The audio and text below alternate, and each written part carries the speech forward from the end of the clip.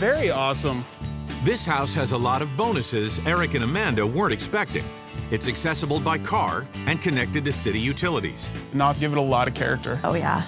These knots here are called burls. Burls are rare natural deformities on trees that make wild patterns in the grain. Woodworkers use them for bowls, furniture, or add them into architecture. It's a nice high-end Alaskan touch to any home. What's that right there? Yeah. What happened to the stairs here? When we had the flood in Talkeetna a few years ago, the river rose and washed it out. This area flooded in 2012 during one of the worst storms in decades. The rivers were high, houses were flooded. It was horrible. I'm totally looking forward to fishing on the creek, but not if it's on my front porch. These ridges now help protect the home. It is definitely something that we're gonna have to take into consideration. A new stairwell will cost a few hundred dollars. It's gonna take a little work, but it's something that I can customize the way I want it.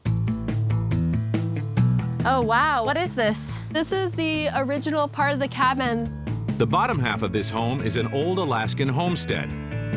It's a unique touch, but a challenge to upkeep. I've lived in log cabins before. The logs are really old looking and they could be rotten. Maintenance costs $1,500 every year. Owners need to restain and reseal logs to protect them against sun, rain, and insects. The house is a piece of Alaskan history. The only problem with that is the fact that one third of that house could be the chink in the armor that topples the whole thing. Definitely looks like a bit of a project to me, but it's definitely unique. Well, let's take a look around the property. All right, let's do it. This is your storage tents. Oh, wow. It's pretty big in here. Yeah, and it's pretty sturdy too. I don't see it coming down in the wintertime. That's nice. But I do see the Alaska jerry rigged it down here to make sure that it was level. It wouldn't uh, blow away. Exactly, exactly. But I can also store my four-wheelers and snow machines inside here in the wintertime too. Oh, wow. Chicken coop.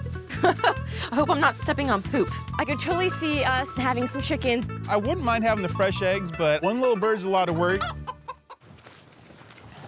Oh, wow. Look at your kitchen. It's huge. And there's a sink with uh, running water, which is great. Yeah, you have your well here, so you'll have water hooked up to the whole house.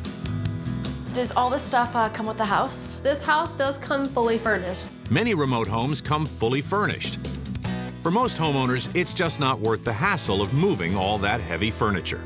So let's uh, check out the sitting room.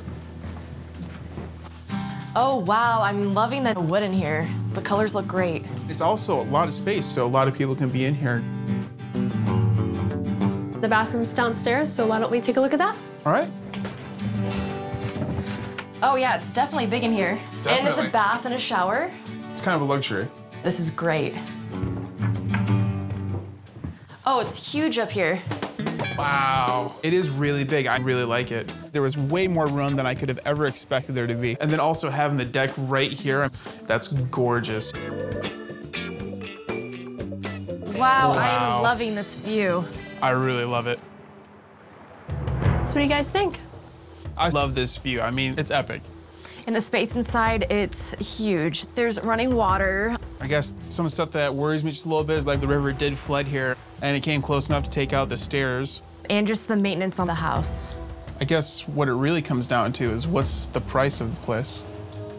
The cost of this cabin is $128,000. Oh, wow. Under budget. That's under budget and it comes with everything. yeah. However, I mean, it does have the worry of another flood coming in. And it could just destroy the whole house. Exactly.